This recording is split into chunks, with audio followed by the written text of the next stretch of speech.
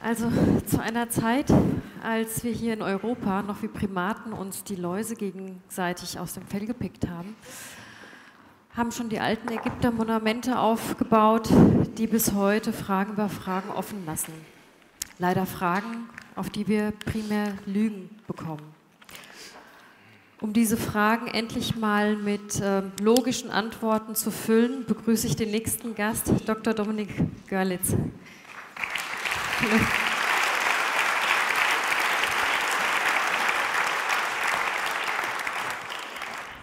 Ja, vielen Dank.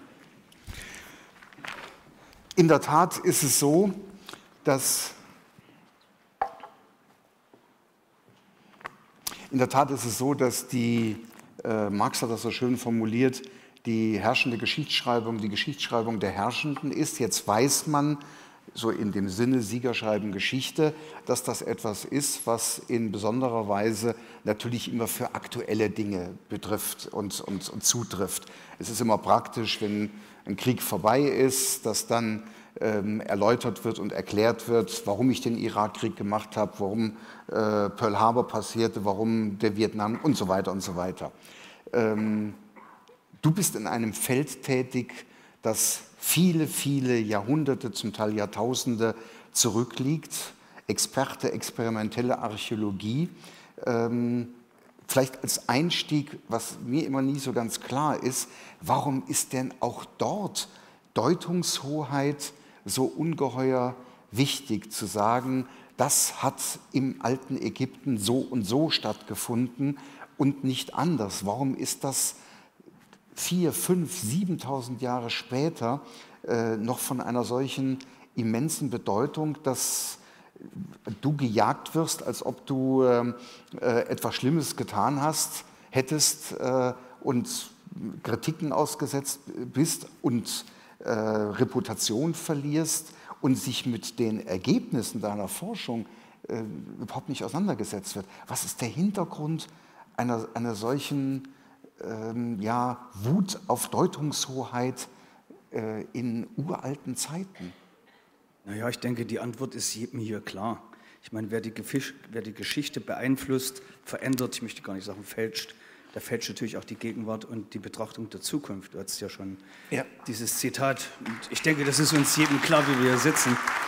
Und ich meine, das ist ja nun auch nicht mein Verdienst, sondern es gibt ja, und insofern muss man auch wirklich äh, ein Stück weit jeden auch mitnehmen wollen. Und es geht nicht auszugrenzen, die anderen, die Archäologen, die wissen nicht, was sie tun. Ich denke durchaus, die wissen, was sie tun, weil es ist ja auch eine wichtige, faszinierende Aufgabe, sich mit Geschichte zu beschäftigen. Und ich meine, wer die Geschichte nicht begreift, der wiederholt wieder und wieder seine eigenen eigene Geschichte. Dieses Zitat habe ich jetzt ein kleines bisschen verfremdet. Und das ist unser Problem. Geschichtsforschung ist in erster Linie Zukunftsforschung. Und wenn wir das morgen voraussagen wollen, müssen wir uns umdrehen, zurückschauen, unsere Spuren verfolgen, wo wir hergekommen sind, wo wir gerade stehen und wo es möglicherweise hinführen wird. Und das ist letzten Endes scheinbar akademisch gesehen doch irgendwo ein Problem, dass eben freie Bürgerforschung, Citizen Science oder freie Forschung, wie wir es hier gerne hören wollen, eben so unerlaubt ist in dem Bereich, wo wir eben, Stefan Erdmann und ich, eine rote Linie überschritten haben sollen, die es uns als denkenden Bürger nicht erlaubt haben, Fragen zu stellen, die eben den heiligen Gral der Archäologie schlechthin, die Cheops-Pyramide von Gizeh, betrifft. Ist es die Eitelkeit? Also ich meine, das Politische, was du ansprichst, kann ich absolut nachvollziehen. Und wenn man da wirklich ganz in die Tiefe geht, ist es in der Tat so, dass natürlich die Fragen, warum hat sich das eine oder andere so abgespielt und nicht so, äh, auch wenn es äh, vor Tausenden von Jahren gewesen ist, Bedeutung für die, für die Zukunft und für die Gegenwart hat. Also das holt uns immer wieder ein. Die deutsche Geschichte ist dann eines der wunderschönsten Beispiele, äh, gerade wenn du da auch nochmal in die germanische Geschichte reingehst, alles klar. Aber ist es vielleicht auch die Eitelkeit der, der Professoren, dass da zwei Quer, wobei du natürlich alles andere als ein Quereinsteiger, aber aus deren Sicht Quereinsteiger, Stefan und du, äh, euch dem absolut heiligen Gral äh, genähert habt? Stefan hat das, ja, der, ich weiß nicht, wie viel Mal, zigmal in, in Ägypten gewesen ist, ohne dass es irgendwie ein Theater gegeben äh, hat. Äh, und ähm, die Frage zu stellen, was waren jetzt die Pyramiden? Grabmäler, da hört man schon das schallende Lachen, aber gut, äh, technische Bauwerke, Wasserwerke, äh, was auch immer, ähm, was war da der Hintergrund, die ist doch legitim. Naja, ich sag mal, ich denke, bei dieser Cheops-Pyramide kommen viele Dinge zum Tragen, die wir auch in anderen Rätselphänomenen der Geschichte haben. Beispielsweise Rätselkarten aus dem frühen Mittelalter, die die Antarktis zeigen und andere Dinge, die es so nicht ja. geben dürfte.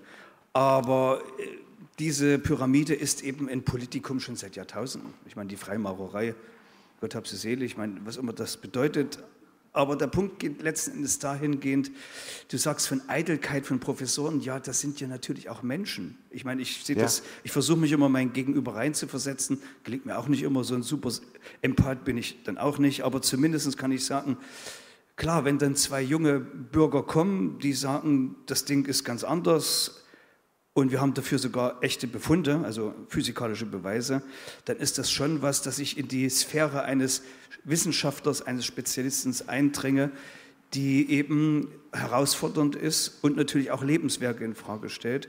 Aber ich denke, das Phänomen bei der Cheops-Pyramide ist nicht nur Eitelkeit, sondern diese Pyramide steht für bestimmte Datierungssysteme, für bestimmte Zeiteinteilungen, für bestimmte Geschichtsstandards. Und das wäre eben dann schon ein gewaltiger Paukenschlag, wenn wir eben zeigen müssen, dass bestimmte Metallzeitalter nicht mehr so stehen bleiben können, wie sie bisher über 100 Jahre postuliert wurden, wenn bestimmte Zeitsysteme, obwohl ich gar nicht mich reinhänge in die ganzen Datierungsansätze, wie alt diese Pyramide aufgrund äh, historischer Texte ist, weil da kann man ja ja. hunderttausende Bücher studieren und weiß hinterher genauso viel wie vor dem Lesen dieser Bücher. Das Beste, Sie lassen das, da werden Sie auch nicht schlauer. Aber entscheidend ist eben, die Pyramide ist eben schon das Symbol für Vergangenheit, Geschichte. Und für mich ist sie eben ein Mal, Mal, wenn ich über mich selber reden darf, ja, es gibt ja eigentlich nichts Dümmeres, als eine Pyramide zu bauen. Ich meine, Sie können kein Bier drin brauen, Sie können kein Getreide lagern, Sie können das, was, was hm. will man mit so einem Ding? Naja, umso wichtiger ist es ja mal, dass die Wissenschaft der Frage nachgeht, was ist es denn gewesen, wozu war es denn, äh, wurde es denn eingesetzt und gebraucht? Irgendwas werden sich die Leute da schon Sie müssen bei Sie, gedacht haben. Sie sind ja da. Ich meine, das ist ja letzten ja. Endes unser Dilemma. Ich meine, es wird viel von Außerirdischen geredet, aber es ist für mich immer so eine Lächerlichkeit. Wir wollen morgen, übermorgen zum Mars fliegen, was ich sehr begrüße, dass wir unseren Horizont erweitern, aber sind nicht mal in der Lage, konsistent, also stimmig zu erklären, wie vor 5000 Jahren eine frühbronzezeitliche Kultur den ersten Wolkenkratzer der Menschheit gebaut haben will. Ich finde das einfach zutiefst beschämend und ja. traurig, dass wir es nicht geschafft haben, nach 200 Jahren Archäologiegeschichte in Dechiffrierungsschlüssel einzuführen. Was ist eine diffusionistische, also homologe Reihe? Bei Artefakten gibt es diese Mauerwerke auch in Peru. Auf der Ost ist das Homologie oder es hat sich das zufällig eben analog entwickelt. Was haben wir geleistet in diesem Punkt? So wenig. Und dann wollen wir morgen zu Mars fliegen. Explorer, also Curiositas, ja, ja. die Neugierde, die gerade da oben auf dem äh, Marsmond rumfährt, äh, Mars als Planeten rumfährt. Wir können doch nicht mal die einfachsten Dinge erklären hier auf der Erde. Und das ist eigentlich das Gefährliche, wo es eben dann wirklich in politische Dinge geht, mit denen ich eigentlich als Wissenschaftler gar nichts ja. zu tun haben möchte. Die rote Linie, von der du gesprochen hast, als ähm, Stefan Erdmann und du, die ihr gemeinsam überschritten habt, war, dass ihr einer ähm, ja, speziellen, eines speziellen optischen Merkmal nachgehen wolltet, einer Verfärbung nachgehen wolltet und ganz normal, Stefan ist zigmal da gewesen, einen Antrag gestellt habt und habt dann äh, dort die Reise hin unternommen und habt äh, ähm, vor Ort geprüft, geprobt, gearbeitet und das war alles abgestimmt und alles völlig ja, ich sag mal, unter dem Segen der Altertumsverwaltung in Kairo. Ja, wir haben ja schon viele Vorredner gehört, die eben durch ihre Tätigkeit Probleme mit der Justiz bekommen haben. Und da gibt es immer nie eine eindeutige Ja- oder Nein-Antwort. Also Stefan Erdmann hat als Privatforscher ähnlich als ähnlich wie ich, ich habe auch schon privat in Ägypten geforscht, viele Jahre lang in der Pyramide gearbeitet, um zu zeigen, dass es mehr Hinweise dafür gibt, dass es ein technisches Bauwerk anstatt ein Grabmal war. Und hat eben 2006, 2007 neunmal Proben entnommen, hat das analysieren lassen und hat mich 2012 in Dresden in einer Abora-Ausstellung gefragt, was stellst du dir vor, kannst du mir da helfen? Wo ich sagte, warte mal, du Privatperson, wie kommst du in die Pyramide rein und kannst da proben? Ich wollte das gar nicht glauben. Doch, ich habe das veröffentlicht, ich habe das in Filmbuchform. Er hat mir letztens, das war auch mein Fehler, ich habe ihm das auch geglaubt, er hat mir das gezeigt, einen ganzen Stapel Genehmigung mit der Unterschrift von Havas, wo er drin war. Ja da, da komme ich ja nicht dazu dran zu zweifeln. Er hat es ja gemacht, getan.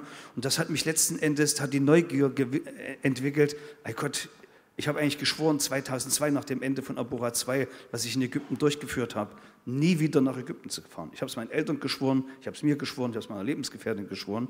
Aber das war so eine tolle Geschichte, wie er mir erzählte, dass auf diesen Deckenbalken gegenüberliegend zwei dunkle Flächen sind, die symmetrisch in Farbe, symmetrisch in Form und symmetrischen Größe waren. Und Stefan hat nach dieser ersten optischen Entdeckung auch Ägyptologen gefragt, sowohl arabische Ägyptologen aus Kairo als auch Leute vom DAI, die ihm dann den Rat gesagt haben, Herr Erdmann, nutzen Sie Ihr Geld für was anderes. Suchen Sie sich ein anderes Hobby. Da ist nichts zu entdecken. Lassen Sie das. Hatte er oder hattet ihr das Gefühl, das war das gezielte Ausreden oder das war so von oben herab? Oder die wussten, was er finden würde. Die Frage sage ich einfach mal mit einem Satz, das ist die Arroganz des gesicherten Wissens gewesen. Ja. Der kann, das ist ein Spinner, ja. soll, der soll gehen, woher kommt. Und als ich das sah, war mir klar, äh, ich habe so viele Jahre Schiffe transportiert und habe mich mit alten Kulturen beschäftigt ohne dass ich in wirklichen Dingen in Archäologie Spezialist bin. Gut, ich habe mich mit prähistorischen Schiffbau sehr beschäftigt, mit Mumifikationstechniken. Aber lange Rede, kurzer Sinn, mir war klar, es muss irgendwas Menschengemachtes sein, sonst wäre das nicht auf allen neun Decksteinen der großen Königskammer so gewesen, egal was es war. Es musste einen menschengemachten Hintergrund haben und das war für mich der Auslöser, all meine Schwüre an meine Vorfahren über Bord zu werfen. Los, komm, ich fahre noch einmal mit wir waren ja der Meinung, es ist völlig unter dem Umbrella des, der, des Supreme Consulate of Antiquities. Also Aber der, es war ja auch so, ihr hattet ja Genehmigung. Naja, wir hatten eine Genehmigung, die war auf Arabisch und, und das war eigentlich, das möchte ich noch dazu sagen, entscheidend ist, ich habe gesagt, Stefan, ich habe am Anfang nicht so richtig geglaubt, was ist der, ich kannte ihn ja nicht. Ich sage, du fährst dorthin vor mir, prüfst das, rufst mich an und machst das klar. Also ich will da nicht hin. Ich hatte gerade meinen Doktortitel 2012, da habe ich zehn Jahre, zwölf Jahre für gekämpft, das Verfahren durchzuziehen, das Promotionsverfahren, wo ich also alle Spießrouten gelaufen bin, habe zweimal die Uni gewechselt, ich habe Druck aus Deutschland, aus Amerika bekommen, ich habe also über Kokain und Nikotin in ägyptischen Mumien promoviert. Kommen wir gleich noch drauf. Also mal ja. ein Thema, was völlig out of order ist und promoviert, nicht probiert. Manche meinten, ich hätte es selber probiert, aber nein, das habe ich nicht. Aber entscheidend war, ich wusste, ich muss vorsichtig sein. Ich wusste, ich bin unter Beobachtung von bestimmten akademischen Kreisen. Und ich sage, lieber Herr Erdmann, lieber Stefan, sei vorsichtig, ruiniere nicht mein Leben. Ich habe dafür wirklich lange gekämpft, um dort zu stehen, wo ich 2012 stand. Ja. Und er hat gesagt, nein, Dominik, ich verschwöre dir, dass ich fliege runter, ich keine Bestechung, kein Backschisch. Ich habe gesagt, Stefan, deswegen möchte ich alle Quittungen sehen. Ich möchte den die ganzen E-Mails möchte ich im CC sehen, was du kommunizierst. Ist irgendwas unlauter, steige ich aus, augenblicklich. Ich sagte, nein, kein Problem. Und Stefan ist vier Tage vorher hingeflogen, hat sich mit seinem Touroperator äh, Fergani Al-Kumati getroffen. Der hat ihm dann letztens den Kontakt geschalten zu äh, Ali Garber Omar. Und das muss man einfach mal wissen. Ali Garber Omar, also Garber, war unser Guide. Den hat Stefan vier Tage vorher getroffen, zweimal. Der hat ihm am Computer alles erklärt, was, warum, womit. Und wir haben ihn vormittags nochmal getroffen, da haben wir auch nochmal eine andere Höhle besichtigt, das war ganz interessant. Und er war eben unser Guide, also unser Inspektor, ja. Ägyptologe, promovierender Ägyptologe in, äh, in Kairo. Er ist der Oberinspektor auf dem Gizeh-Plateau, General Manager für Wissenschaft gewesen. Also nicht irgendwie ein Beduin auf der Straße, den Stefan angesprochen hat. Und dieser Ali Gaber Omar oder Gaber Ali Omar hat Stefan, wie gesagt, äh, getroffen. Er, hat, er war in der Pyramide ja. mit dabei und er hat mir, nachdem ich das erste Mal von der Decke wieder abgestiegen war, um die Proben zu holen, den habe ich noch mal, der kam nochmal, hat mich gefragt, Dominik, was macht ihr hier? Ich sagte, Gaber, das weißt du. Du bist genau eingewiesen, wir wollen die chemische Natur dieser schwarzen Patina proben. Da guckt er mich an und sagt, okay, macht. Und in diesem Augenblick sind wir unschuldig, weil das konstituiert eine Genehmigung. Unabhängig, was auf den Zetteln in Arabisch drauf war. Ich konnte es nicht lesen. Wir gingen eben, äh, da war, ich konnte nur sehen, es sind drei Deutsche eingeschrieben. Da waren unsere arabischen äh, Passportnummern drauf ja, ja, und ja. so weiter. Und es war eben die Uhrzeit drauf, das konnte ich lesen. Ansonsten konnte ich nichts lesen. Ich dachte einfach, das ist eben eine absolut stimmige Genehmigung. Hinterher stellt sich zwar raus, dass das nur eine Besichtigungsgenehmigung war, aber das kann nicht sein, weil wir haben auch in diesem Genehmigungsverfahren Leiter beantragt, Leitern beantragt. Die wurden uns zur Verfügung gestellt. Die Leitern wurden unaufgefordert von den Inspektoren aufgebaut. Die wussten, was wir machen. Und trotzdem Gut, hat man ja, wenn du auch sagst, du hast ja dann nochmal nachgefragt, ist also der Umstand der Verprobung, den also, der Stefan ja vorher Diebstahl, schon zigmal... Paragraph ja. 304, gemeinsamer ja, ja. Diebstahl, gemeinsame Beschädigung eines Kulturheiligtums 307, was wir uns alles angedichtet haben, unberechtigtes Außerlandesschaffen dieser Proben. Ich habe dann leider erst ein Jahr nach diesem Blowout, den Havas verursacht hat, einen Landesrichter aus Oberthüringen kennengelernt, der 14 Jahre lang der Chef des Senats ja. der Strafkammer war. Der hat mir ein Gutachten geschrieben, kann sich jeder auf meiner Webseite herunterladen, abora.eu, was eben ganz klar sagt, diese ganzen Punkte sind nach deutschem Recht irrelevant. Gut, das ist dann die, na, ich sag mal, der vorauseilende Gehorsam und die besondere Wichtigtuerei, die dann hier deutsche Justiz an den Tag legt in, in, in, solchen Fällen. Aber das Ergebnis, das Ergebnis ist ja dann ganz offensichtlich etwas, was, ähm, du hast vorhin bei, bei, dem Thema Datierung das schon angedeutet, was eben bestimmte ja, Vorstellungen, die bislang unterrichtet werden, von denen man ausgegangen ist, über den Haufen wirft. Was habt ihr da an der Decke gefunden? Ja, das ist schon sowas, da muss ich mich immer am Kopf kratzen, dass mir das Schicksal treu war, um sowas zu erleben. Wenn man sich mit Forschung beschäftigt und als Schüler von Thor Heyerdahl groß geworden ist mit den Büchern, den Filmen, selber mit solchen Papyrusbooten um die Meere gefahren war, dass es uns möglich war, eine der Kardinalprobleme des Pyramidenbaus zu lösen, das ist ein göttliches Geschenk. Und als ich das erste Mal dort hochkletterte an die Decke, bevor ich mich mit Garber das letzte Mal auch für mich abgestimmt habe, ist mir in dem Schein meiner Kopflampe klar geworden, dass wir da wirklich vor einer Sensation stehen. Und ja, das sind eben alte Lehrtheorien, die aufgestellt wurden, nachdem Napoleon die Pyramiden mit der ersten europäischen wissenschaftlichen Expedition Ende des 18. Jahrhunderts analysiert hatte, wo ihm festgelegt wurde, das muss ein Grabtempel sein. Punkt. Ich will ja. da gar nicht jetzt drauf eingehen. Dann kam eben Lepsius und äh, Flinders Petri, die eben immer mehr mit modernen Wissenschaften dort eben auch gezeigt haben, dass da bestimmte Dinge extrem außergewöhnlich sind. Und dann wurde sich eben darauf geeinigt, dass diese Pyramide in die frühe Kupfer-Bronzezeit gehört. Also auch der Grieche Herodot, auf den wir unbedingt noch zu ja. sprechen kommen müssen, hat eben das so verortet. Und für mich gibt es auch wenig Zweifel daran, dass die Pyramide nicht älter als viereinhalbtausend Jahre ist. Also ich muss mich da ganz klar auf die Seite Herodots starten. Aber der entscheidende Punkt ist, es galt eben als sicher, dass diese Pyramiden am Beginn der Bronzezeit gebaut wurden. Ohne darauf Rücksicht zu nehmen, dass da ein paar Millionen Tonnen äh, Hartgestein verbaut sind auf dem ganzen Gizeh-Plateau, was mit Kupfer und Bronze nicht zu bearbeiten ist. Und es war für uns die Überraschung schlechthin, als ich in der Decke dort die Reste von Eisenoxid fand. Und auch hier muss ich sagen, haben mir die antiken Gelehrten eine Menge geholfen. Wir tun immer so, als sind die antiken Gelehrten dumme Leute, die eben irgendwie aus Aberglaube und lächerlich ja, ja. sich damit diesen Dingen beschäftigt haben, angefangen von der Platis, äh, Platin, äh, Plato-Sage über Atlantis bis eben hin zu Herodots Pyramidenbaubeschreibung, die übrigens die einzige Überlieferung aus dem Altertum ist, die wir haben. Und das ist für mich so ein Punkt, das ist so göttliche Inspiration, wo ich dort hochgucke und sehe, ey Gott, das ist Magnetit.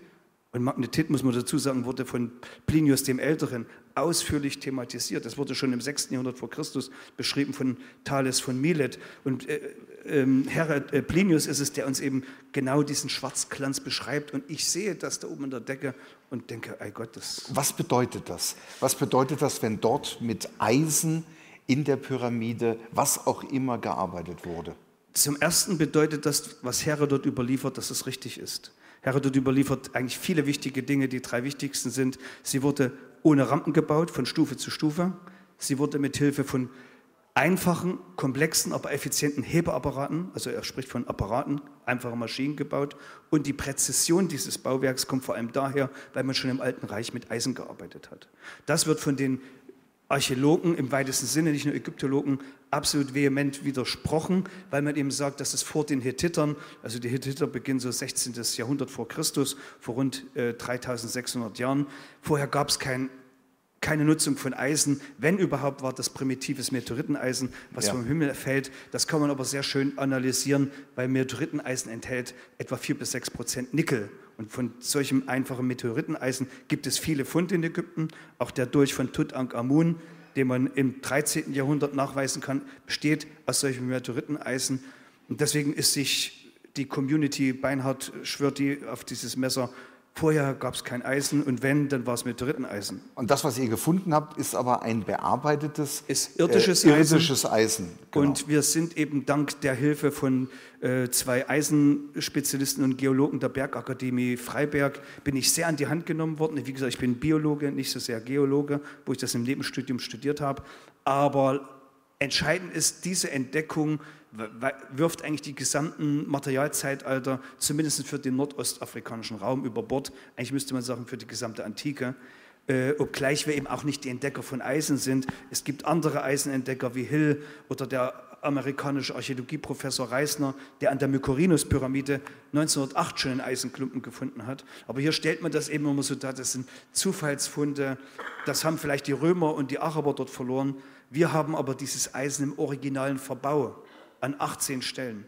Und das ist eben eine ja. völlig neue Qualität im Nachweis dieses Edelmetalls. Und die wissenschaftliche Gemeinschaft hat auf diese Information ähm, reagiert mit. Ja, wir sind arme Irre, die ja. verleitet wurden, da Unsinn zu erzählen. Und man stellt mich immer so hin, als würde ich mich mit meiner Entdeckung im luftleeren Raum, im Vakuum des Geistes befinden.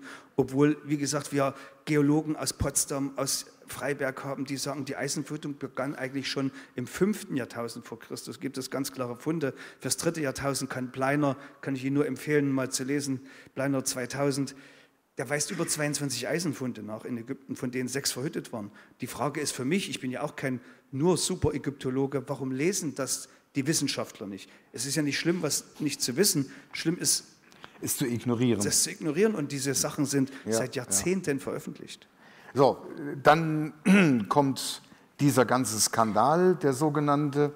Ähm, da brauchen wir jetzt nicht nochmal alles aufzubreiten. Das Interessante, deswegen äh, verbotene, unerwünschte äh, Archäologie als, als unser, unser Thema.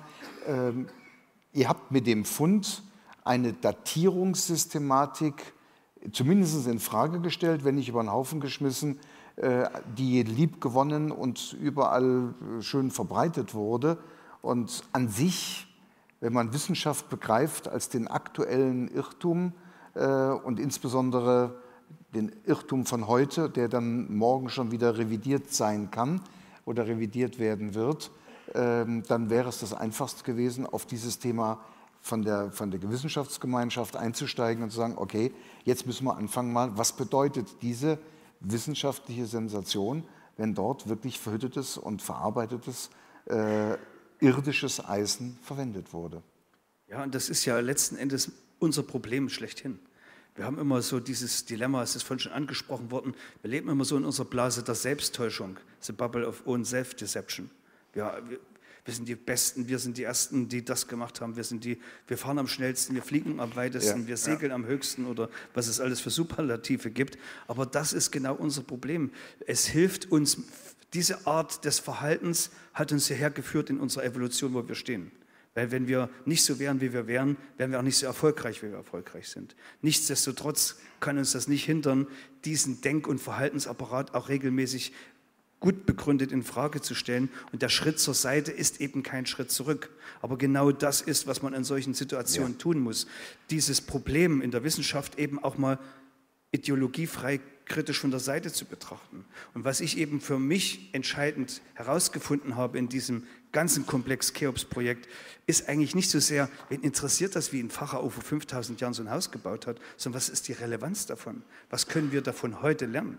Und für mich ist die entscheidende Frage, wenn das meiste stimmt, was uns Herodot überliefert, warum sind die nicht schon vor 4.500 Jahren in das Industriezeitalter gegangen? Was macht so eine Kultur, diese sogenannte vierte Dynastie, eine, Phase von etwa 150 Jahren, so unglaublich erfolgreich, wo man also vom, der Sprung von der dritten zur vierten Dynastie bedeutet, als hätte Mercedes-Benz ja, schon 1930 die S-Klasse erfunden, baut aber heute 2013, äh, 2016 ja, die einfachsten Mercedes-Apparate, die eben im, ja. vor dem Zeitpunkt entstanden sind. Und dann bleibt das Ganze 150 Jahre am Leben. Man kann das sehen, die ersten Pyramiden von Snofru, dann kommt Cheops, sein Sohn Chefren, Mykorinus und dann stürzt das wieder für über 4000 Jahre in dieselbe Bedeutungslosigkeit, bis wir schlauen Kerlchen am Ende der Neuzeit oder am Beginn der Neuzeit kommen mhm. und das eben mühsam wieder zurückerfinden. Du hast einen sehr schönen Satz gerade äh, so fast ein bisschen nebenbei. Die ähm, Entwicklung oder die Art und Weise, wie wir sind, hat uns dahin geführt, wo wir jetzt stehen. Ähm, das ist einerseits natürlich im Positiven, auf der anderen Seite ist aber auch genau dieses Verhalten, was du beschreibst, das, was uns dahin geführt hat, in diese Ignoranz und in diese ähm, fehlende und mangelnde Demut. Und damit sind wir bei deinem zweiten Thema, äh, den kulturellen, äh, den technischen, technologischen Leistungen vergangener äh, Völker, Kulturen gegenüber, denn diese Hybris, die wir heute mit unserer sogenannten Zivilisation an den Tag legen, die beißt sich damit zu erkennen, dass die, äh, und das war Gegenstand dann, dann, deiner Promotion, dass die in der Lage gewesen sind, äh, Schiffskontakte äh, zu organisieren und durchzuführen, ähm, die an und für sich uns heute erst seit ja, einer relativ kurzen Zeit ermöglicht, ermöglicht sind das ist ja genau der Punkt. Ich bin, bin da nicht dazu gekommen, ich bin dazu äh, unterbrochen worden. Es ist eben die große Frage, welche innermenschlichen Faktoren ja. treten zutage, wenn diese Spezies Raub auf den Mensch, bestimmtes technisches, kulturelles und Wohlstandsniveau erreicht hat. Ein sehr guter Freund von mir hat gesagt, wir leben so seit 400.000 Jahren auf dem Planeten, alle 10.000 Jahre verheddern wir uns dermaßen, dass wir den Zopf wieder abschneiden müssen und müssen von vorne anfangen zu flechten. Und genau hierin liegt unser Problem. Wir müssen endlich dieses alte Zitat, erkenne dich selbst, das ja. haben wir eben noch nicht getan. Weil was, ja, das ist, ich denke, das ist uns allen klar. Was ist es, was zu diesen ob es die Chinesen, die Babylonier, die Ägypter, die Mayas, wir können, ja. äh, ich will es nicht Deutschland sagen, sondern alle diese Kulturen, die in diesen Reihen Kultur reingestanden haben, was sind diese zivilisationsstimulierenden Effekte? Was ist Innovation? Was ist Tradition? Und was macht die Kulturen kaputt? Und es ist eben nicht der vielgepriesene Klimawandel, der Mangel an Rohstoffen oder Technologien oder Wissen, Nein, es ist das schlichte Fehlverhalten, insbesondere der herrschenden Klassen. Und wir können es an allen großen Kulturen, nicht nur an den Ägyptern, auch an den Chinesen darlegen. Die machen die schlimmsten Fehler, wenn es ihnen am besten geht. Hm. Ja. Das ist unser Problem. Und solange wir, solange wir dieses Dilemma nicht offenlegen und eben auch wirklich mal auf den Tisch bringen und sagen, Leute, wir sind so clever, wir haben so viele wunderschöne Dinge erfunden, dass wir eben telefonieren können, skypen können, mit dem Flugzeug in sechs Stunden nach Amerika fliegen können und so weiter. Das sind wunderschöne Errungenschaften. Aber auf der anderen Seite, was bremst uns? Und ich sage das immer auch in Vorträgen, wir haben in den Wissenschaften kein Erkenntnisdefizit. Jede, jede zwei Monate multipliziert sich unser Wissen. Wir sind Jahrtausende oder wenigstens Jahrzehnte in unseren wissenschaftlichen Technologien, dem gesellschaftlichen Sein voraus. Was wir haben, ist ein Anwendungsdefizit mit unserem Wissen. Und mhm. da müssen wir endlich mal anfangen. Wir können doch nicht mit Technologien des 19. Jahrhunderts, die Energiewende, mit Windrädern unser Land versorgen. Sorry, die haben wir vor 200 Jahren abgebaut.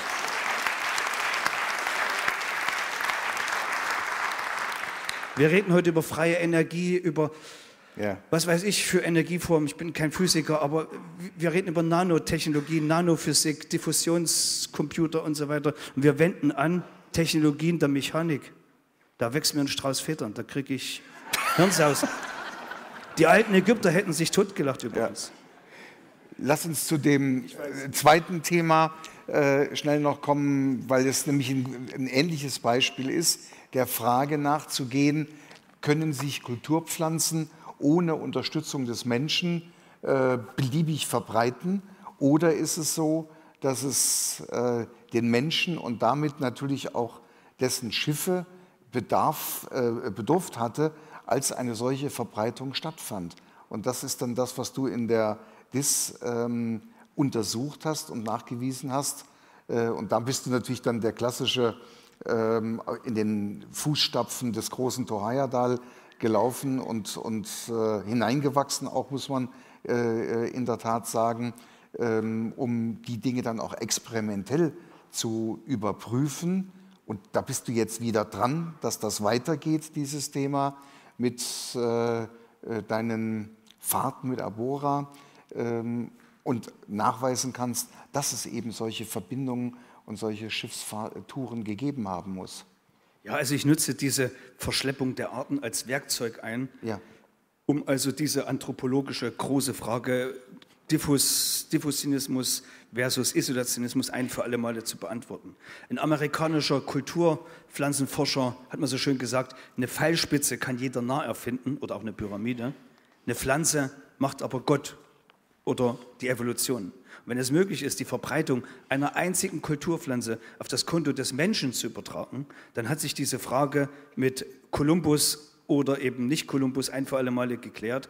Und ich kann Ihnen nur sagen, wie wir in anderen Themen schon gehört haben, wir werden hier so vereimert es gibt also seit Hunderten von Jahren schon Beschreibungen über solche Pflanzenphänomene. Äh, ein ganz großer amerikanischer Pflanzengeograf, die haben also in Amerika auch gute Wissenschaftler, so ist es nicht, äh, hat mal schon vor 50 Jahren zusammengetragen, Karl O. Sauer, wie bestimmte Kulturpflanzen wie die afrikanische Baumwolle, der Flaschenkürbis vor Jahrtausenden vor uns darüber gekommen war. Ich habe im Zuge meiner Promotion mit englischen Genetikern zusammengearbeitet, die eben herausgefunden haben, völlig parallel zu meinen Studien, aber wir haben am Ende das übereinander gelegt, unser Treffresultat Präparate und die ihre Singelnukleotidpolymorphismen, dass die Kürbisse vor über 10.000 Jahren, wahrscheinlich schon vor 13.000 Jahren, voll domestiziert aus Afrika nach Amerika übertragen wurden. Entschuldigung. Die sind einfach rübergerollt. Ja. Und das war eigentlich der ja. Initialpunkt. Die Geburtsstunde von Abora war, als ich als äh, grüner Student 1989 zu meiner Botanikprofessorin ging, ich bin ja heute mit ihr ganz eng befreundet, liebe Dr. Helga Dietrich. Sag, Frau Dietrich, Frau Dr. Dietrich, wie kann das sein, dass diese Kürbisse so früh in Amerika auftragen? Sagte, ich bin nur Botaniker. Da muss ich zum Archäologen gehen. Der liebe Görlitz als erster Student, also Student im ersten Semester, geht zu Professor Oelsner aus Leipzig. Herr Professor, wie kommen die Kürbisse nach Amerika? Ich bin nur Archäologe. Wenn du es wissen willst, geh zum Ethnologen bin ich dann zum Ethnologischen Institut der Universität Jena gegangen und der hat mich dann zurück zum Botaniker geschickt. Nachdem ich diese Runde ja, ja. rum hatte, da habe ich dann gesagt, wisst ihr was, könnt ihr mich alle mal am Dommertrommel, jetzt baue ich solche Schiffe selber, hänge die Kürbisse hinten ran und messe mit der Uhr, wann die ihre Keimfähigkeit verlieren. Tabakpflanzen und Mais und ähnliche ja. Sachen natürlich genauso. Und auf die Art und Weise einfach den Nachweis experimenteller Erstmal kein Nachweis, das ist falsch. Es okay, geht erstmal darum, Fakten zu sammeln. Wie ja, hat gut. Sherlock Holmes gesagt, es wäre ein furchtbarer Fehler, irgendwelche Theorien aufzustellen, ohne die geringsten Fakten zu haben. Wir haben keine Fakten. Also diese sogenannten Professoren, Spezialisten hatten keine Fakten, sondern nur konsistente Erklärungsmodelle, Theorien. Und mir ging es eigentlich darum, erstmal keine Theorien, keine Erklärung. Lasst uns erstmal mit der Stoppuhr Zahlen, Daten, Fakten, ZDF. Ja. Entschuldigung. messen, messen, wie lange schwimmt das Zeug. Übrigens ja. auch Papyrusboote, wie lange schwimmen die, wie lange segeln die, was können die mittransportieren und danach im Labor erstmal das auszuzüchten, zu schauen, um einen Titter zu erwirken, wie lange schafft es eben eine solche aus der Natur herausgezüchtete Pflanze. Und wenn ich das im Mittelmaß nehme, nicht länger als 100 Tage, im höchsten Fall 200 Tage. Wir wissen aber durch die vielen Experimente, die gemacht werden, so ein Driftbojen brauchen etwa 400 Tage im Mittel von vom nördlichen Afrika bis nach Europa, äh, bis nach Amerika zu driften. In der Zeit ist das Zeug untergegangen, von Haien gefressen äh, und von anderen Meeresorganismen. Es kann so nicht funktioniert haben. Der, der Weg, den du beschritten hast im Sinne eben einer experimentellen Archäologie, stünde ja theoretisch, wenn wir nicht dieses Scheuklappen-Experten äh, hätten, auch der klassischen Wissenschaft offen. Also an sich ist das ja nichts, was irgendwie anrüchig ist, zu sagen, ich probiere es einfach mal aus. Ich äh, teste es was, sammle auf die Art und Weise ähm, Fakten. Ist ja nichts, was irgendwie verboten ist. Nein, insofern kann man ja auch nicht von verbotener Wissenschaft sprechen. Da ja. durfte ich es ja machen. Und ich hatte ja auch von, das ist eben immer unsere dichotome Denkweise, das oder, also alles oder nichts, so funktioniert das auch in der akademischen Welt nicht. Es gibt durchaus Institute, das IPK Gartersleben hat mich fast zwei Jahrzehnte unterstützt und mittlerweile unterstützt mich das Institut für äh, Kartografie wo ich all das anwenden darf. Also es gibt sehr wohl Wissenschaftler, die völlig offen sind, die genauso wissen wollen, was die Welt im Innersten zusammenhält. Und das ist eigentlich, wo es hingehen muss. Wir müssen die Brücken bauen, die Menschen einladen, ja. mitnehmen und nicht sagen, du hattest Jahrzehnte Unrecht, sondern zu sagen, guck doch mal, schau dir das doch mal an, versuch doch noch mal einen neuen Blick drauf zu werfen. Und da gibt es auch in unserem akademischen Wissenschaftsbetrieb viele Männer ja. und Frauen, die mir Gott sei Dank, nicht mir, sondern der Wissenschaft einen Dienst erweisen. Ja. Du hast das Thema Kartografie. Das wäre jetzt auch nochmal ein Punkt, weil das nämlich der nächste Bereich ist, in dem, ähm, ja, ich sag mal, Artefakte, Dokumente, Karten, Globen vorliegen, die das Wissen der Zeit, aus der sie stammen, gar nicht haben transportieren können nach unserem heutigen Verständnis. Um was handelt es sich da? Ja, ich muss dazu sagen, ich bin gebürtiger Gotha, komme eigentlich aus der Stadt der neuzeitlichen Kartografie schlechthin, bin aber Biologe, habe mich mit Kartografie bis 2007 nicht beschäftigt, bis mir mein guter Freund, Vereinsmitglied Gunter Lenzer, alle Bücher über Kartografiegeschichte ohne mein Wissen in meinen Rucksack gesteckt hatte. Ich hatte bei Abora 3 so viel Stress, dass ich nicht mal meine Klamotten selber gepackt habe. Das hat der liebe Gunther gemacht.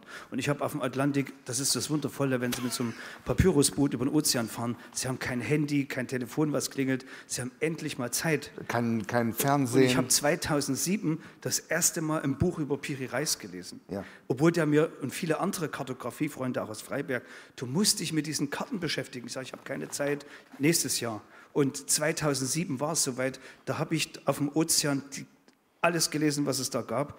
Und da war mir klar, um Himmels Gottes Willen, wie kannst du nur so arrogant gewesen sein, zu glauben, dass diese bunten, schönen Bildchen aus dem 16. Jahrhundert Fantasy-Kartografie darstellen, was ich bis dato irgendwie gedacht hatte. Ich hatte schon mal was von Charles Hepcott gehört und Piri Reis, natürlich kannte ich das, aber ich war, für mich war das immer so ein bisschen. Ja, was hat er denn lächerlich. gezeichnet? Piri Reis, was, hat, was ist das also was Bemerkenswerte Reis, an seiner Karte? Das, also Piri Reis wird ja von fast allen, die sich damit äh, ja. beschäftigen, genannt, aber die meisten verstehen es nicht, weil es geht gar nicht um die Karte selber, die ist so ungenau, damit würden sie nie in Amerika oder würdest du niemand in Amerika ankommen. Was das Besondere der Piri Reis-Karte ist, dass er als hochgebildeter Muslime, türkischer Admiral, 18 antike Karten zitiert, aus denen er das Wissen herausgenommen haben will. Und das wird von allen Karto oder sagen wir, von allen Historikern überlesen. Er schreibt, ich, Piri Reis, Admiral der türkischen Navy, habe diese Küsten unter Verwendung von 20 antiken Karten, denen er Eigennamen gibt, beschrieben. Und das ist einfach mein Vorwurf oder meine, mein Erwachungsmoment gewesen, ja. dass ich begreifen durfte, ey Gott, das passiert ja tatsächlich auf überliefertem Wissen und mir wurde immer so suggeriert von dem Fernsehen und von wissenschaftlichen Dokumentationen, dass das alles Gespinne ist. Und da ist mir klar geworden, ey Gott, ich habe da eine weitere Daube gefunden in dem Fass, was auseinanderfällt, dass das möglicherweise, wenn man das mal akademisch überprüft, alles ganz anders herum ist. Und das ist eigentlich das Besondere an der Kartografiegeschichte. Wir haben Karten, die sind äh, ungefähr 500 Jahre alt, die zeigen die Antarktis küstengetreu. Da finden Sie Ross Island in der Mitte der Rossbay, da finden Sie Buchten, die, auf, die erst 500 Jahre später entdeckt wurden. Mein Professor, den ich schon löblich erwähnt habe, der hat mit dem Alfred Wegener Institut und der Universität Potsdam 2013 die modernste und heute akkurateste Atlantik, äh, Antarktiskarte geschaffen. Wir sehen auf 500 Jahre alten Karten das fast genauso. Wer bitteschön konnte vor 500 Jahren mit welcher Technologie, mit welcher Motivation, mit welchem Instrumentarium diese Messpunkte, wir reden hier über ja. Geodata, Länge, Höhe, Breite, das georeferenziert auf eine zweidimensionale Abbildung bringen. Das ist undenkbar mit dem heutigen Geschichtsbild. Es geht nicht. Und du hast ja, wenn du jetzt sogar noch einen Schritt weiter gehst, ähm, beispielsweise beim, beim Thema Grönland, ähm, ja, eine Darstellung, die aufgrund des Eises äh, heute gar nicht mehr möglich ist. Ja, es ist nicht so sehr Lebt Grönland, es ist mehr die Antarktis. Also okay, okay. Und äh, das ist eben letzten Endes unser Problem, was ich schon sagte, Bubble of Self-Deception. Wir leben in der Selbsttäuschung, dass wir so schlau sind und wir die, Ja. die Super Monkeys auf der Spitze der Pyramide und die mit dem akademischen Lehrbuch winken, wir hätten das Wissen erfunden. Das kann nicht sein, weil diese Karten zeigen eben so getreu bestimmte Küstenbereiche in und an der Antarktis, wo man auch ablesen kann, dass die Küsten partiell abgetaut waren. Man sieht aber sehr schön in diesem Kartensystem, wen es interessiert, äh, Johannes Schöner hat, hat, hat die besten Karten mitgezeichnet und andere ähm, äh, Phineus Orienteus, die eben die Antarktis so spezifisch zeigen, aber wo man sieht, dass das Ding auch vereist war. Und man muss sich eben dann mit Klimageschichte transinterdisziplinär beschäftigen. Die Antarktis ist geologisch gesehen erst vorgestern vereist, also vor rund 20 Millionen Jahren. Und wir wissen durch Eisbohrkerne, die ist in den letzten 18 Millionen Jahren dreimal komplett fast abgetaut. Und die, das letzte Abtauen war Immer dieses CO2. Nee, ach ja, das ist, ja. Das ist furchtbar. Es ist furchtbar. Ich weiß schon, die Maschinen der Antike haben das Ja, schon ja, produziert. ja, ja. ne? Wir- Ein Satz noch, weil wir ein bisschen auf die Zeit gucken müssen, ähm, zur Astroarchäologie. Auch da ist es ja spannend, ähm, was für ein Wissen, auch was für ein Navigationswissen zur Verfügung stand. Und ganz offensichtlich, dass nicht nur irgendwelche ähm, ja, bunten Sternchen am Himmel waren, sondern das Ganze eine ganz andere Systematik hatte. Ja, du sprichst hier auf die Sternkarten von Ja. meinem Freund und Kollegen Dr. Kai Helge Wirth an und hin. Ja, das ist ja, ich meine, wer Kürbisse voll domestiziert von einem Kontinent zum anderen fährt, im Austausch Mais, Coca, Ananas mitbringt, der muss sich auf dem Meer orientieren können. Und das ist ja, was man als Segler lernt. Es gibt drei, nee, zwei wichtige Probleme eigentlich zu überleben. Das erste ist, einen fahrbaren Untersatz zu haben, der lange genug schwimmt und bei Sturm nicht untergeht. Und das zweite ist die Orientierung auf See. In dieser Epoche, und hier geht es vor allem darum, dass die Forschungen zeigen, dass der Teile des Tierkreises, nicht der gesamte Tierkreis, paläolithisch ist, also am Ende der letzten Steinzeit vor rund 12.000, 13.000 Jahren gezeichnet worden sein könnte. Ich sage es nicht müsste, aber könnte. Das ist eben, für mich ist es kein Wunder, wer Kürbisse voll domestiziert darüber Ja. fährt, der sucht sich Netzwerkkarten. Unser Gehirn ist geradezu äh, prädestiniert, Orientierungspunkte zu suchen. Und das, die Sternbilder, der ganze Himmelskorpus ist ein GPS-System. Es ist so einfach, dann auch zu navigieren.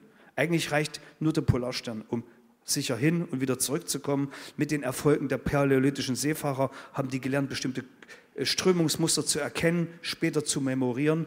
Na, logischerweise suche ich mir dann bestimmte Punktelinien, die mir helfen, in bestimmten Jahreszeiten dann meine Orte wiederzufinden. Sich zu orientieren, sich zu bewegen, sind typische Verhaltenseigenschaften des Homo sapiens. Er ist eine Wanderspezies und hat natürlich auch ohne Technik gelernt, Naturzeichen zu lesen, Naturzeichen zu deuten und sie für seine Lebenszwecke einzusetzen. Punkt. Letzte Frage, die neue Abora-Mission, eigentlich sogar zwei. Was steht da jetzt aktuell an? Zuerst Sponsoren zu finden. Gut. Ja, no Zweitens. money, no honey. Und das, ich muss sagen, die, der Skandal hat mir mehrere Großsponsoren gekostet. Ja, er hat ich dir. übrigens auch äh, wissenschaftlich mir extremst geschadet. Also ich bin erstmal für die nächsten Jahre, man sagt es akademisch verbrannt, das muss ich einfach so Ja. sagen. Mein Habil- äh, mein Habil-Antrag ist abgelehnt worden. Das ist jetzt nicht ein Todesurteil für mich, aber ich sage mal, es tut schon weh, wenn man sich so intensiv damit beschäftigt hat. Aber viel schlimmer ist eben, dass selbst gestandene deutsche Unternehmen, wo sollen sie es auch herwissen, bei dieser Diffamierung in der Presse sagen, mit dem Spinner wollen wir nichts zu tun haben.